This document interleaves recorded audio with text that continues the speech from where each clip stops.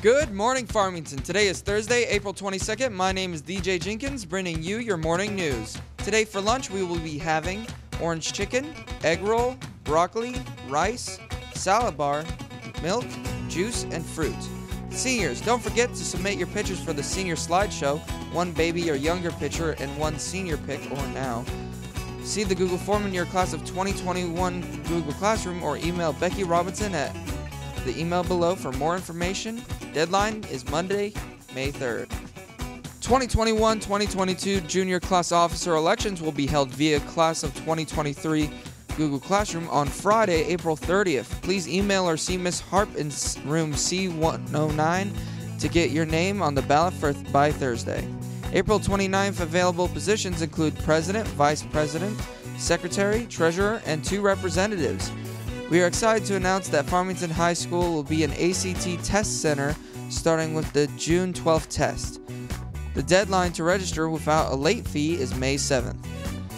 Any seniors that are planning to attend Northeastern State University in Tahlequah for the 2021 22 school year, please email Ms. Hunter at the email below or stop by the counselor's office. Seniors, it is now time to apply for the PTSA scholarship. If you are interested, the scholarship application can be found on the Class of 2021 page. The application is due by April 30th. Seniors, your senior prom has been set. It will take place Saturday, April 24th from 9 to 11 p.m. at Powerhouse Seafood and Grill in Fayetteville. Tickets will be $25 each. Each Farmington senior attending will need to complete the Google form individually. If you are paying for someone else's ticket, please let us know when you receive the payment link. For more information, please contact Amber Parrish or Melissa Payne.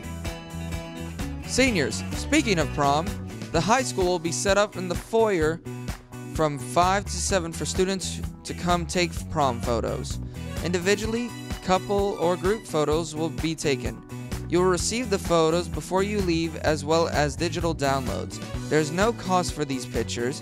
Come get your photos taken before you go to dinner and your respective prom locations. If you have any questions or need more information, contact Miss Mode.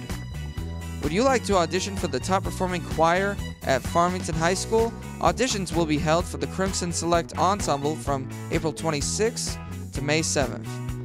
Current 9th through 11th graders can sign up in the office for an audition time. Virtual students can email Miss Jackson at the email below for details. Cardinals. The Farmington High School Theater Department presents Broadway's Best. Broadway's Best will be this year's musical put on by Mr. Perry's theater students. Dates for their performance will be May 7th at 7 p.m., May 8th at 5 p.m., and May 9th at 2 p.m.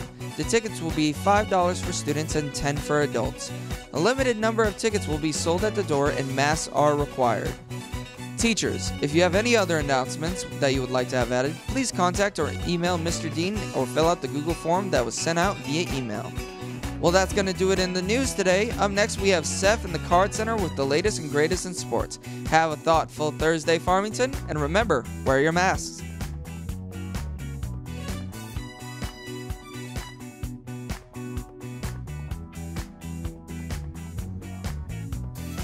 Thanks. My name is Seth Adams, and Card Center with the latest and greatest in sports. The both soccer teams will be back in action tomorrow night when they play host to Dardanelle to take on the Sand Lizards. This will be senior night for both teams, and the senior night festivities will start at 4:30.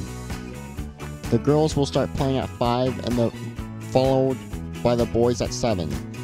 The softball Colonels softball team will be back in action tomorrow night when they travel to the Prairie Grove to take on the Tigers, with the varsity girls taking the field at 5. Coach Harper's baseball team will then be back in action tomorrow when they travel to Prairie Grove to take on the Tigers at 5. Well, that's going to do it for us in the Card Center today. Have a thoughtful Thursday, Farmington, and remember, wear your masks.